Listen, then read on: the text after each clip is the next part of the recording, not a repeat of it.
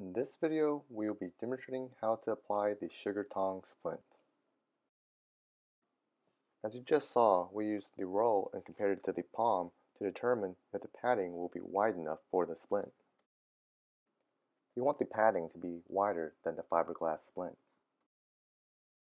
We use the padding here to estimate how long the fiberglass splint should be.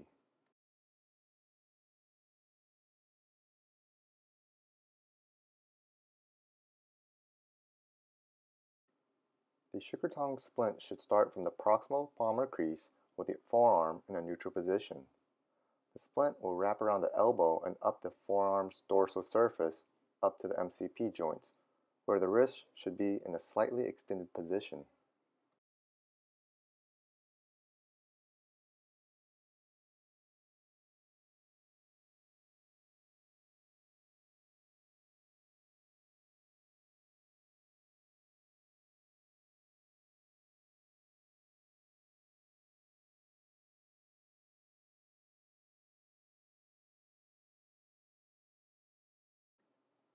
After we have gotten our measurement for the padding, we actually extended about a half inch on each side to give it some length to overlap the fiberglass splint.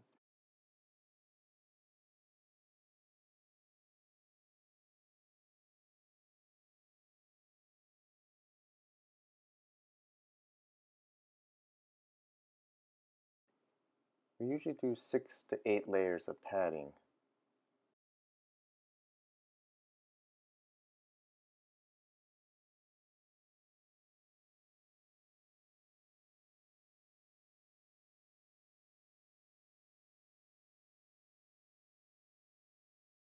As you see here, when we lay down the padding, there's actually an overlap of about 2 inches between each layer.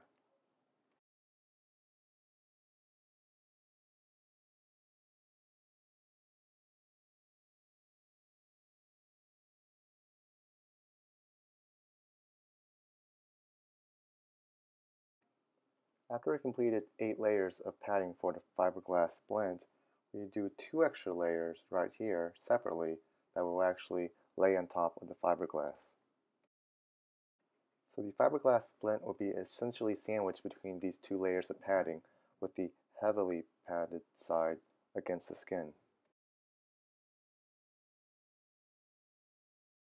So we had two rolls of 3 inch fiberglass and we're laying down approximately 6 to 8 layers.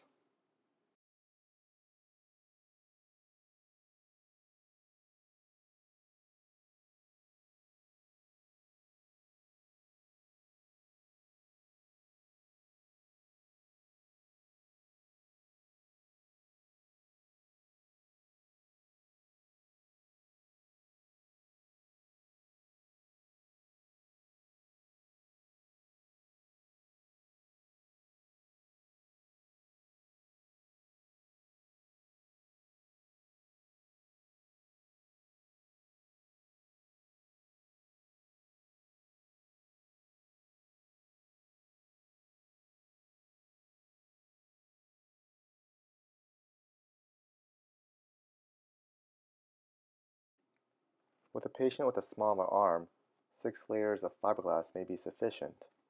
However, with someone with a larger arm, you may need to use closer to eight layers of fiberglass.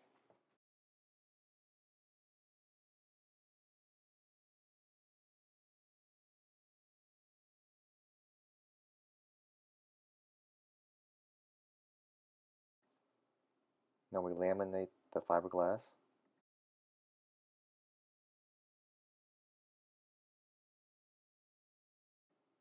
Now we add the thinner two-layered padding on top.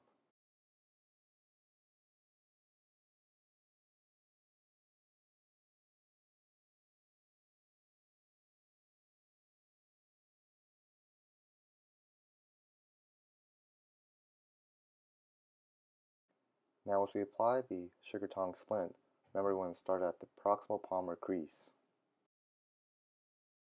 Remember to keep the elbow in 90 degrees of flexion as we wrap around it.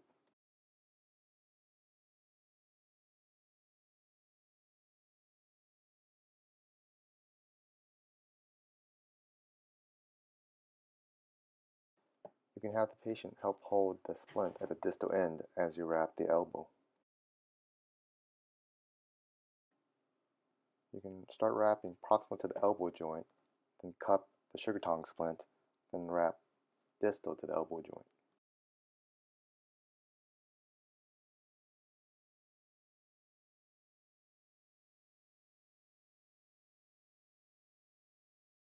Watch out for radial or ulnar deviation.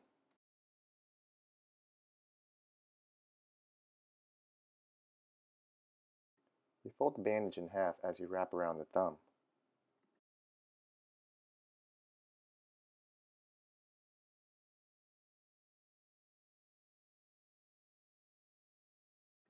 Here we do the interosseous mold.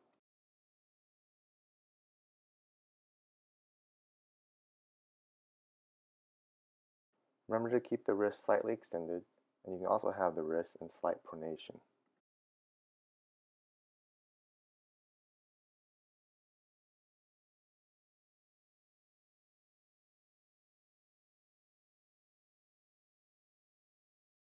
You have the patient rest the arm in this position.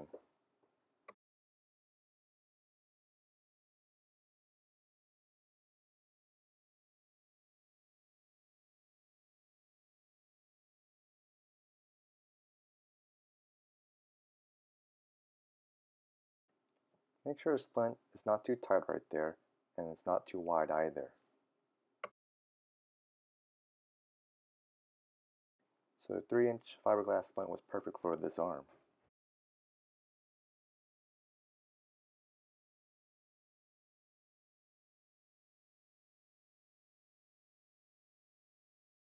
You can take the splint off a little early if the patient complains of any pressure points.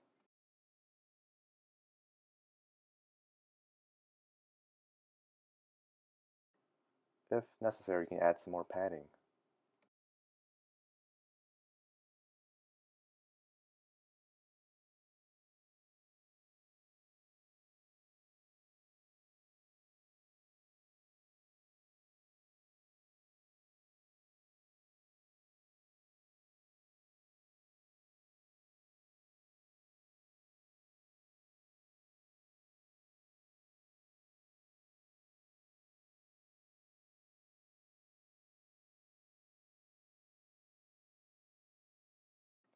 I'd like to give a special thanks to Frankie Salazar and West Coast Sports Medicine.